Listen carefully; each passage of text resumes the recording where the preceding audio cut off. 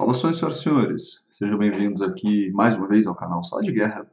É, eu estou mais uma vez gravando aqui na madrugada, então eu não posso falar muito alto para não incomodar os vizinhos. Mas o vídeo de hoje, então, é um vídeo especial e de última hora, né?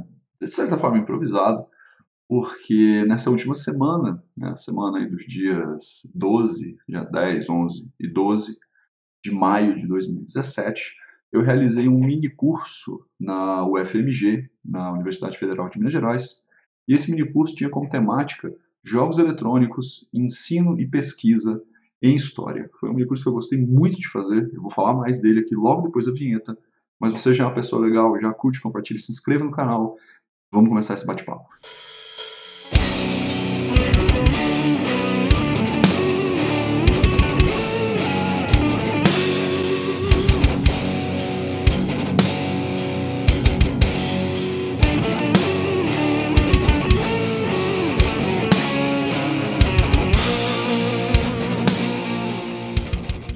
Bom, pessoas, a proposta do mini curso, né, é, o nome correto dele era Novas Tecnologias no Ensino de História, Games, Jogos Eletrônicos e suas possibilidades para a educação histórica. A proposta toda do mini curso era enxergar, enxergar os jogos como fenômenos culturais, fenômenos de apropriação cultural e fenômenos históricos, ou então ferramentas que se apropriavam de um conhecimento histórico para produzir uma narrativa ou um enredo de um jogo. O minicurso ele foi, ele foi ministrado pelo professor doutor George Leonardo Seabra Carvalho, Coelho perdão, e a professora mestra Thalita Maria Francisco da Silva, ambos da Universidade Federal de Goiás. Uh, então, né, vieram de Goiás aqui para Belo Horizonte apresentar esse minicurso. Se eu não me engano, não foi a primeira vez, já é a segunda vez que o minicurso acontece. Uh, ele foi realizado durante o EFIS, que é o Encontro de Pesquisa em História que é realizado anualmente no FMG, ele está na sua sexta edição. Isso, sexta edição do EFIS, né, que reúne aí é, historiadores, pesquisadores da área né, de história social, econômica, política e tudo mais. Uh, e o que eu achei mais interessante do curso foi exatamente isso, cara. A forma como os professores eles conseguiram mostrar pra gente como que os jogos eles são fenômenos culturais da sua época. O que eu quero dizer com isso? Durante a. Logo depois da Segunda Guerra Mundial, né, você tem a Guerra Fria, o acirramento das tensões entre o bloco ocidental, liderado pelos Estados Unidos, e o bloco oriental, liderado pela União Soviética, e os jogos vão refletir isso. Né? Uh, você tem aí nos anos 60 e 70 corrida espacial, né, e posteriormente o projeto Guerra nas Estrelas, uh, e os jogos vão refletir isso. Você tem o Asteroids, Space Invaders, você vai ter jogos de estratégia uh, onde você tem que eliminar mísseis inimigos que estão chegando até a sua base. Isso é um reflexo no jogo do que está acontecendo no mundo.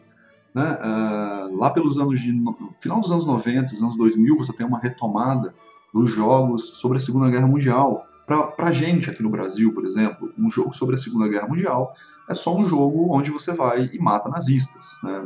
É bem simples. Mas para um americano, né, que teve o avô ou o bisavô que lutou na Segunda Guerra Mundial, esse jogo ele traz uma, é, uma carga cultural diferente, né, uma carga histórica. O, o indivíduo que está jogando, ele entende o que está acontecendo e aquilo faz parte da história dele. E o jogo se apropria dessa história para construir a sua narrativa. E isso é muito interessante. Uh, um outro ponto que foi discutido também né, durante o curso é a capacidade, né, possibilidade, na verdade, do uso desses jogos em sala de aula. Uh, eu chego para os meus alunos de primeiro ano, segundo grau, quando eu tenho que trabalhar, por exemplo, sobre Grécia Antiga com eles, e eu sempre pergunto: o que vocês sabem sobre a Grécia Antiga? E 90% dos alunos vão responder: é, nós sabemos um pouco de mitologia. Quando eu pergunto da onde veio esse conhecimento, a resposta é sempre a mesma: God of War. Eles conhecem mitologia clássica, mitologia grega, em virtude de um jogo virtual. E isso é muito legal. Ele acaba virando uma ferramenta para o professor em sala de aula. Mas, obviamente, esse jogo ele não pode servir só como um exemplo, né? só como uma ilustração. Porque senão a gente cai no mesmo problema dos livros didáticos que trazem imagens de determinados períodos históricos mas não trabalham essas imagens com os alunos, não questionam. Né? Em história a gente chama de problematizar a imagem. Então, ao mesmo tempo em que o jogo ele pode ser extremamente interessante como ferramenta de pesquisa, como fonte, perdão, de pesquisa, ou como ferramenta didática, ele deve ser sim problematizado. Uh, o jogo ele não é feito apenas por fazer, né? É uma indústria, é um, tem um mercado por trás disso, né? Hoje em dia a indústria de videogame ela move mais dinheiro do que a indústria de cinema, por exemplo. GTA V, né, o Grand Theft Auto 5, custou milhões de dólares para ser feito, né? E no seu lançamento arrecadou bilhões de dólares. Então, o professor ele não pode levar o jogo para a sala de aula apenas como um exemplo. Citando aqui, dando, dando um exemplo. Né? Uh, eu posso pegar, quando eu vou trabalhar a Revolução Francesa com os meus alunos, eu levo o trailer do Assassin's Creed Unity, né, que se passa durante o período da Revolução Francesa.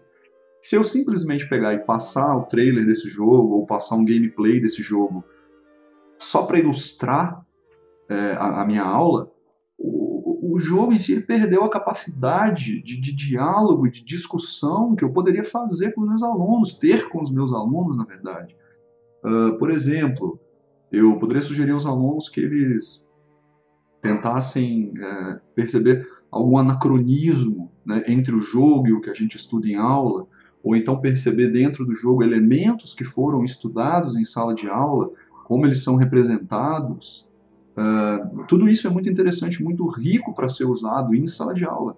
E não apenas isso, os jogos em si hoje eles já se tornam fonte histórica, ao passo que eles são passíveis de pesquisa, né, de entrarem numa pesquisa acadêmica mesmo, de fato. A indústria de, de, de videogame, né, desde o momento em que ela surge, lá pelos anos, final dos anos 70, não, começo dos anos 70, aliás, uma coisa assim, uh, ela passa por mudanças e, e, rupturas e crises e restaurações e hoje elas estão cada vez mais presentes na nossa vida. Né? Hoje em dia o cara para jogar ele não precisa só de um console, ele joga no PC, ele joga no celular. Como essa indústria ela vai sofrendo influências né, da cultura em que ela está inserida, como isso tudo depois acaba refletido em si no jogo, né, na produção dos jogos. Um exemplo, Uh, antiga, antes você tinha, por exemplo, o Wolfenstein 3D, né, um dos primeiros FPS que foi lançado. Você matava nazistas.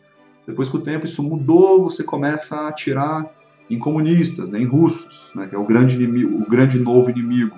Com o tempo, esse novo inimigo ele acaba mudando. Agora você vai para o Oriente Médio, começa a enfrentar terroristas. E quem sabe agora com essas tensões né, entre China, Estados Unidos, Rússia e Coreia, o inimigo não mude de novo e o velho novo inimigo apareça de novo no cenário dos jogos, né? Isso, isso tudo é muito interessante e passível de pesquisa. Então os jogos, eles são os novos, os possíveis novos parceiros dos professores. É, eu como professor de história, é, eu posso pesquisar sobre o tema e dependendo do conteúdo que eu tenho que trabalhar, buscar jogos que possam atrair a atenção dos meus alunos, como por exemplo o exemplo que eu dei do God of War, ou se eu vou trabalhar a Segunda Guerra Mundial, eu posso usar um Call of Duty, um Medal of Honor, um Hearts of Iron, para quem gosta de Grand Strategy.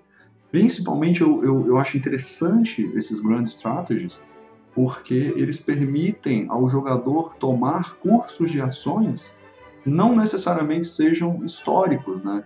E aí responder aquelas perguntas que sempre algum estudante faz, ah, professor, mas e se uh, os Estados Unidos tivessem entrado na guerra mais cedo, ou se os franceses uh, não tivessem concentrado suas forças na linha Maginot, o que teria acontecido?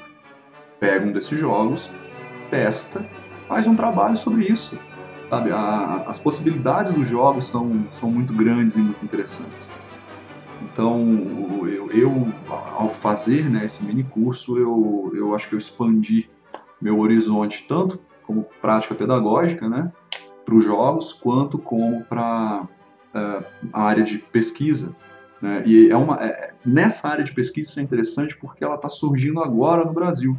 Né? Ela já existe fora aqui do nosso país, mas agora no Brasil ela está começando a se desenvolver. Né? Você já tem dissertações de, de mestrado que utilizam, né, por exemplo, jogos. Tem uma do, da Federal Fluminense que eu vou deixar aqui na descrição. Vou deixar algumas fontes aqui, né, principalmente fontes que o o próprio professor George passou para gente, Uh, e aí quem for, quem tiver mais interessado né, em pesquisar sobre o tema, pode aí se aprofundar, ler uma literatura e uma bibliografia nascente aí sobre esse tema aqui no Brasil.